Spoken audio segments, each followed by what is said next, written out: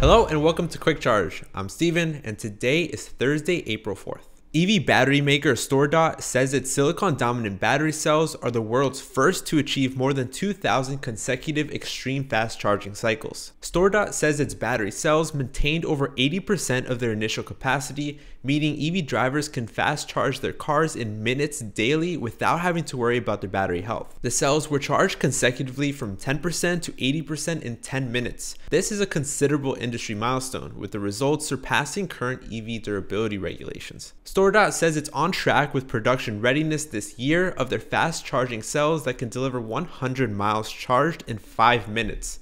The company also aims to deliver 100 miles charged in 3 minutes by 2028. Tesla is turning to deep discounts on new vehicles as inventory piles up. The automaker delivered far fewer vehicles in Q1 than anyone expected. They also added over 46,000 vehicles to their global inventory. This might be another rough quarter for Tesla as the automaker introduces even more incentives. New vehicles are discounted by several thousand dollars. This is even before the $7,500 federal tax credit, which can be applied at the same time of purchase if the buyer is eligible. Most of the discounts on the Model Y appear to be close to the 3,000 to $4,000 range, but even that is huge for Tesla early in the quarter. This lower demand might be due to EV competitors finally catching up in price and tech. Less than six months after dooming bankruptcy filing, Volta Trucks have re-emerged from the ashes with fresh capital and a lean down business plan.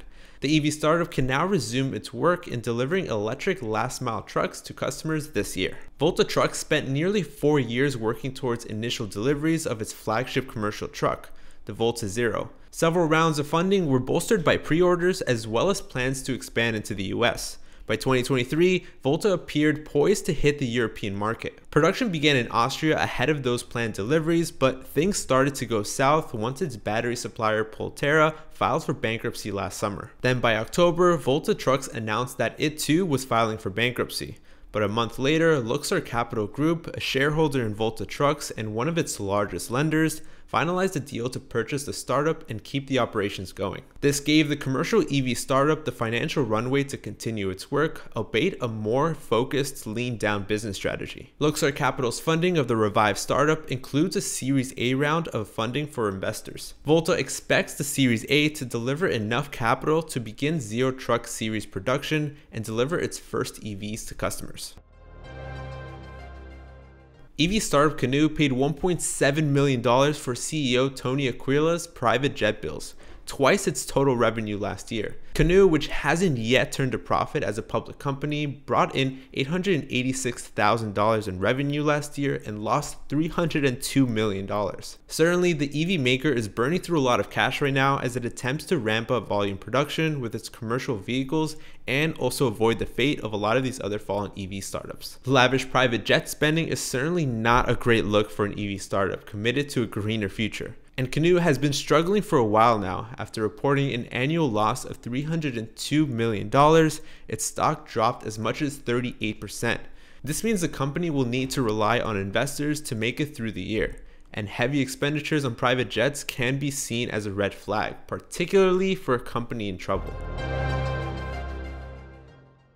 Elon Musk's new AI startup, XAI, has been recruiting from Tesla's own AI team. XAI has been a controversial endeavor for Musk, primarily because he has described Tesla as an AI company, which would put him in direct competition with Tesla. Earlier this year, Musk asked for a 25% vote voting control over Tesla because of his fear that some entity could take over the company to control its AI projects.